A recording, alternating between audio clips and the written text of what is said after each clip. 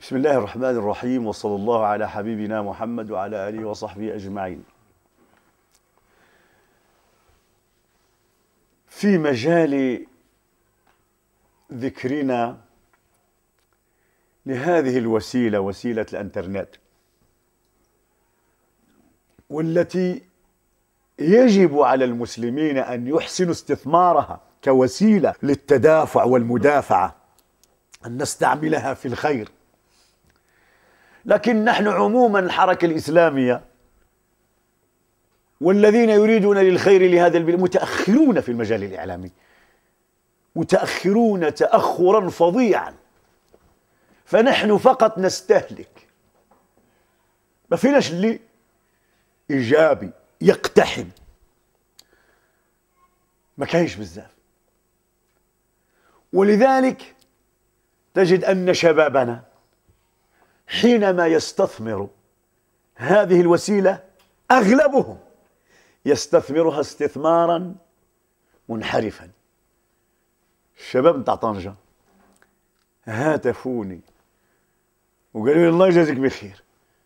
كل مرة مرة نحيلك على أمر جديد ينبغي التنبيه إليه فهو جديد ها؟ فمن الجديد في هذه المواقع التي يفتتحها الكثير من الشباب والمراهقين. ياك ياك راكو عرفتوا كاين شي مواقع اللي دارت واسمو كيسميوها يسميوها يسميوها؟ يفضحوا فيها الممارسات نتاع بنات علية القوم معروف وآخر مدينة كانت هي آسفي. ياك خليني بهذه. آخر حاجة واسمو هي أن فتيات من مختلف المدن المغربية تفتح مواقع في الفيسبوك وهذه المرة ليس للتعري لا ولكن لتعرض لحمها ليباع في ليلة وتحدد الثمن. الله لا إله إلا الله محمد رسول الله. نعم. آخر ما كاين هو هذا. مغربيات شابات. 16 عام 17 عام ياك قاصرة 16 عام. وكدير لك المواصفات ها؟ وتقول لك أنا من مدينة كذا والمعلومات نتاعي هي كذا.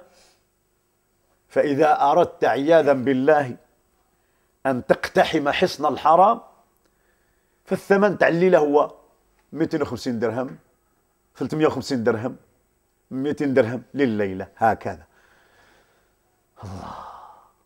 نحن حينما نتحدث عن هذا لا نريد فقط أن نتبنى المقاربة الأمنية.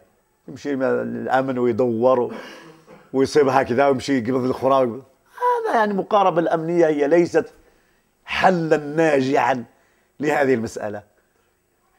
دائما دائما الحل يخص يكون حل شمولي. تتداخل فيه المقاربة التربوية. المقاربة الثقافية المقاربة الدعوية المقاربة الاقتصادية المقاربة الاجتماعية. المقاربة الأمنية عندها إن شاء الله تبارك وتعالى حيزها لكن لا ينبغي أن تكون هي الكل في الكل. هي جزء يسير من الحل. ماذا فعلت المقاربة الأمنية مع كثير من الظواهر تاع الانفلات والانحراف؟ ماذا فعلت لحد الآن؟ ازداد صعار الشهوات. وتفنن الناس عياذا بالله في انتهاك الحرمات. وما قضية ما يسمى بالتضامن مع القبلات إلا جزء يسير مما يتجه إليه المجتمع في غفلة من رجال التربية والتعليم. والآباء والعلماء وجمعيات المجتمع المدني التي يهمها فعلا مستقبل أبنائنا. فنسأل الله تعالى سبحانه أن يحمي أبناءنا وبناتنا. صلى الله عليه وسلم.